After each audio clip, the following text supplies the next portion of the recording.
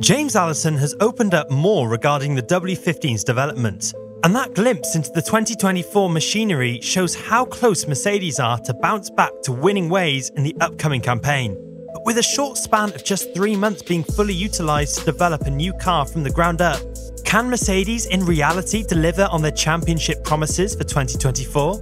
More importantly, how will the W15 fare over its competitors? And at the time, will Lewis and George have that fire to push for a championship battle? The transition from rake cars to ground effect cars were poorly interpreted by the Silver Arrows, adapting the Zero Pods expecting heavier returns in terms of raw performance advantage. Back to back disappointing campaigns have piled the pressure on Mercedes for 2024, especially on the technical team and on the technical director himself. The gladiator returning to his old post as technical director may have just taken on the most difficult job in Formula One currently, reviving Mercedes' dominance. But Allison is confident in his engineers, as he believes tweaking the process of designing and developing the car back at Brackley will be just enough to change the inherited performance of the W15 from day one. When elaborating on this matter, the technical director went on to say, To the mind of a designer or a performance person in F1, concept is actually nothing to do with the car, he told Sky Sports F1. It's about a process by which you decide what good looks like and what bad looks like.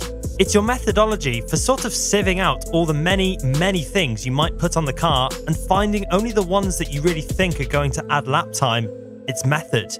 The car itself is just the output of that method. Both the W13 and the W14 were running on flawed concepts, according to fans and the team themselves. But perception of the word concept was different between these two parties. While fans pointed out the lack of side pods to be the main flaw within the car's concept, Mercedes, especially Allison, suggest otherwise. On the same interview, Allison elaborated on what a change of concepts mean for the W15, as he went on to say, When he talked to us about concept, we're hearing what? You think our wind tunnel weighting system wasn't right? And we've changed that. Or our way of meshing in CFD was wrong and we've changed the concept of that. That's what concept means to us, and the car just pops out at the far side of that when we apply that process and that concept. The W15 suiting up a new concept has been an open secret. This new concept, the new aerodynamic philosophy, is set to up Mercedes' game in 2024 with the team gathering data for the past two seasons and also being able to access little information from their successful customer teams as well, the latest reveal from James Allison points towards one major change Mercedes needs to make for 2024 to be in the competitive order. This is the main reason behind the previous two cars not working, previous upgrades not working at all, the parameters used to design the car itself. We had a preview of this during the 2023 launch season, where Mercedes made last minute changes and staff firings, but that was just eliminating a branch from a mistake tree. The roots are what James Allison is focusing on for the W15 and 2024. Starting from scratch allows for those mistakes to be rewritten in the proper path, allows mistakes to be found and fixed, the most basic and fundamental ones. When clearing up on this matter, Allison added, The last two years have required us to adjust our approach and our methodology our concept, if you will, and as a result of that, the hardware that pops out the far side of that will necessarily be different hardware because it's defined by different decisions and different weightings of what's important and what isn't. You get all excited by the end result, but actually, our fate is made by the approach.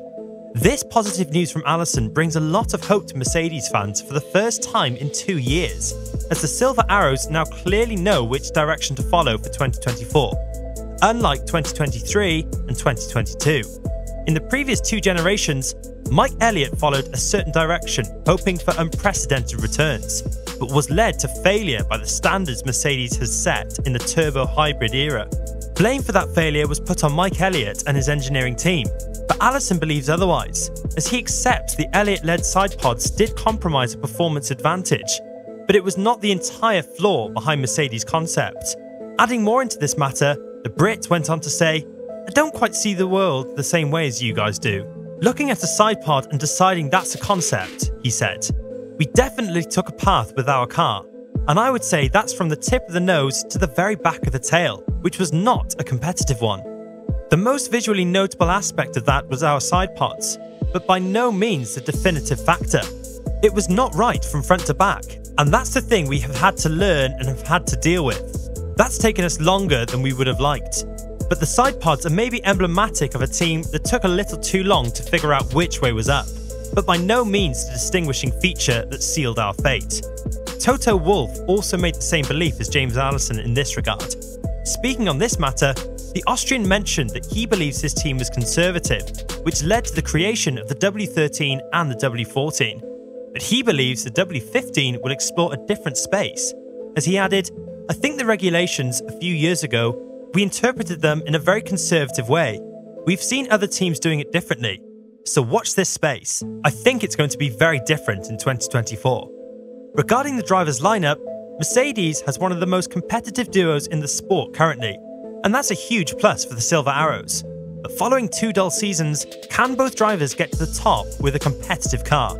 George Russell has to perform at the highest level, as he seems to be a champion in the making.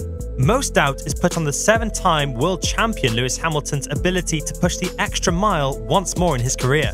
Having that question on the line, James Allison recently revealed that he has no doubt about Hamilton's ability to be up for the fight ahead. I think you'd struggle to find a driver anywhere in the grid that wasn't motivated, explained Allison. I think that sort of comes with the territory with them. And generally speaking, the more successful the drivers have been, the more sort of inescapable that compulsive need to win is. In Lewis's case, it's just a core part of who he is, so there's no doubt about his motivation to get back to winning ways. But whether or not he can do that will be much more in the hands of the equipment we've given him than in his own hands. He's always had that ability there. Allison also said there is little extra that the team's drivers Hamilton and George Russell can do over the winter to help with development, while work has progressed on the W15 car. However, he adds that once the car is up and running in testing, then the responsibilities for improving it very much falls on their shoulders.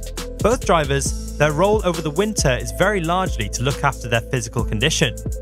Make sure that they're mentally prepared and just stay in touch with us about our successes and failures as we are going through the hoops of getting the car specified, built, tested, and ready for them, he said. So over the winter, it's just getting themselves ready for the new challenge. So, following Allison's huge emphasis on the changes in concept the Silver Arrows are making for the W15, do you believe Mercedes has a machinery in the works which has the potential to beat Red Bull in the upcoming season?